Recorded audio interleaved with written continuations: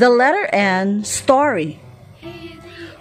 Pretend to be a plane with your arms out like wings and say, Mmm.